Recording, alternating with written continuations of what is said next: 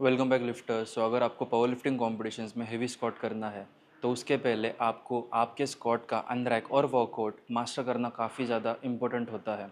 इस वीडियो को अगर आप एंड तक देखोगे तो आप आपके स्क्वाट के टाइम पे उसके अनरैक को और उसके वर्कआउट को काफ़ी कॉन्फिडेंटली कर पाओगे। तो चलिए शुरू करते हैं। तो सबसे पहले टिप होने वाली है कि अगर आप लो बार स्कॉट करते हो या फिर हाई बार स्कॉट करते हो, आपको कभी भी आपका बारबल इतने हायर लेवल पे नहीं रखना है, जहाँ पे आपका बारबल ऑलमोस्ट आपके नेक के रीजन के आसपास आ रहा है बिकॉज़ आप इस हाइट से बराबर आपके बार को आपके बैक के ऊपर सेट नहीं कर पाते और मे भी अंदर करने के टाइम पे आपको काफ रेस करके भी पीछे आना पड़ सकता है, जो हेवियर लोड के ऊपर डेफिनेटली पॉसिबल नहीं होने वाला।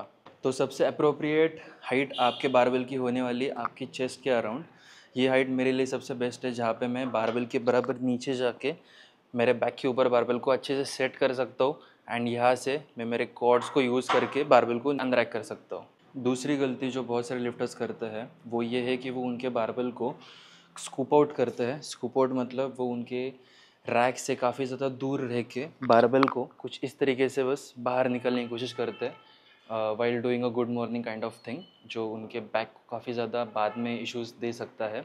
एंड प्लस वो मैकेनिकली भी आपको ज़्यादा एडवांटेज नहीं दे, देता। हेवियर लोड को स्ट्रांगली अंदर करने के लिए। तो इसके जगह पे आपको ये करना है। तो हेवियर लोड्स के टाइम पे आपको हमेशा आपके बारबल के पूरा नीचे जाना है, जिससे आप आपके पूरे बॉडी का इस्तेमाल करके बारबल को अंदर कर पाओगे।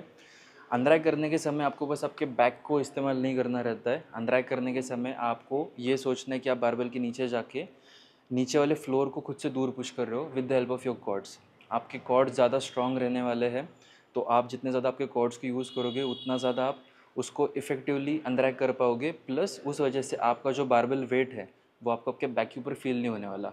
अगर आप आपके बारबल को स्कूप आउट करोगे, उसी टाइम पे आपकी बैक इतनी फटिक हो जाएगी कि आप जब तक पीछे वर्कआउट कर रहे हो, तब तक आपकी पूरी जान उसी में निकल जाएगी और फिर आप आगे स्कॉट नहीं कर पाओगे। तो इसको सही से करने का तरीका ये होने वाला है कि आप सबसे पहले बारबल के नीचे जाओगे।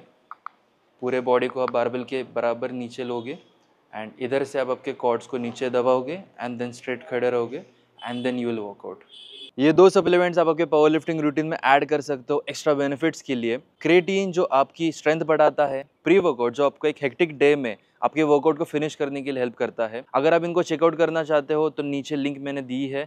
एक्स्ट्रा डिस्काउंट के लिए आप मेरा कोड देवा टेन डेफिनेटली यूज़ कर सकते हो. तीसरी गलती जो बहुत सारे लिफ्टर्स करते हैं, वो ये है कि वो अनरैक करते ही पीछे आने की कोशिश करते हैं रश कर देते हैं. इस चीज़ को एम टी बारबल पे करोगे तो आप उसको मैनेज कर पाओगे. लेकिन अगर वही इस बारबेल के ऊपर 200 के जी होगा तो अगर आप इस रश के साथ ऐसे पीछे पीछे आओगे तो आप कैसे मैनेज कर पाओगे? इस वजह से आपकी आधी एनर्जी तो इसी को स्टेबलाइज करने में चली जाएगी। So we need to always make sure कि जब भी हम अंदरैक कर रहे हैं, तब हमारा अंदरैक जो है वो एकदम पेशेंटली हो रहा है, कुछ इस तरीके से। अंदरैक हमेशा थ्री स्टेप्स में होना चाहिए। First step is going to be go under the barbell take your whole body under the barbell second step use your quads to stand up Once you stand up, wait there until the bar stabilizes and the third step is going to be your workout. आपको इसको बिल्कुल rush नहीं करना because यही foundation है आपके Scott का। Last चीज़ जिसके ऊपर आपको स्पेसिफिकली ध्यान देना है इसमें दो सेगमेंट्स है। पहला सेगमेंट है कि जब आप बारबेल को अनरैक कर रहे हो तब आपके नीज कुछ इस तरीके से बेंड नहीं होनी चाहिए बिकॉज़ ऑब्वियसली आप स्ट्रक्चरल सपोर्ट कुछ भी नहीं मिल रहा आपकी बॉडी स्ट्रेट नहीं है।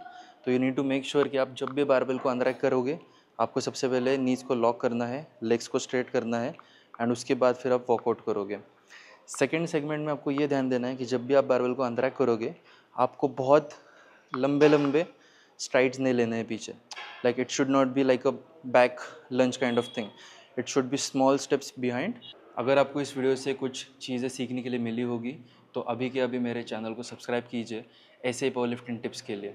आपको मिलता हूँ मैं अगले वीडियो में, तब तक सदा स्ट्रॉन्ग रहो।